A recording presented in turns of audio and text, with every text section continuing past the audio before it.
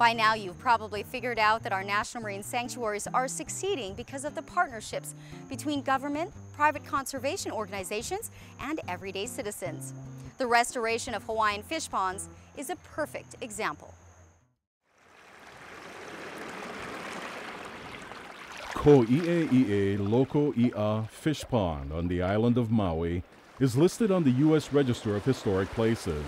Back in 1996, the Association of Fish Ponds of Maui began renovating.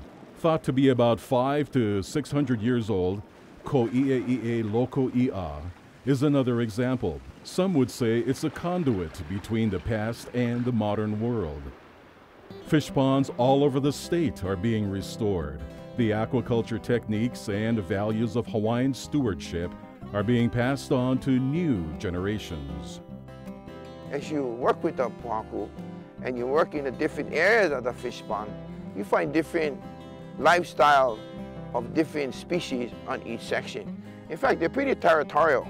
You know, we had a high school student came and do a study only on the species, and they show you how the fish was one place, you know, a certain seaweed was one place, a growth of the coral was one place, the color of the coral was different for different places. So it was pretty fascinating that our kupuna know what was in there, what wasn't there, and what they're going to be able to harvest. So it's a, it's, it's a, you know, it, it, it's a, it's amazing thing that what was left behind. So when we look at that, I think it was a, it was a whole kupu. It was a gift left in legacy for the people in the Mokupuni, the island, like Maui, the Moku, our district, like Kula, our Ahupua'a, like Po'ono'ulu, and then our loko I'a. So if you look at that, everybody talk about, oh, you know, how we manage our land. Well, if you just look at that aspect, Mauka Makai, you know, Mauka all the way down to the ocean. So if you don't know Mauka and you come Makai, you're kind of lost. You know, you're not one half half person. You're one half person. You're not one whole person. We've talked about the significance of water management and the importance of keeping sediment and other pollutants from reaching our nearshore areas. Another valuable component that is often underappreciated are the educational and outreach efforts extended to our communities. Building this support is another necessary step towards achieving sustainability. Uh, the fish pond next to us, Ko'i'e'i'e Loko I'a, the Hawaiian fish pond, um, it's uh, overseen by a nonprofit organization uh, led by Uncle Kimokeo Kapahulehua and Joylyn Paman.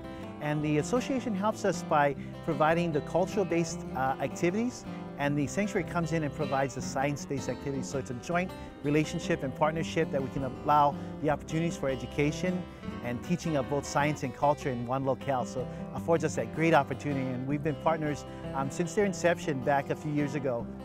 Private organizations like Kamehameha Schools recognize the value of place-based learning and have invested heavily in exposing students to places like the Hawaiian fish ponds. This group of students from West Oahu are getting hands-on experience at Loko Ea Fish Ponds in Haleiwa, which is on the northern shore of Oahu.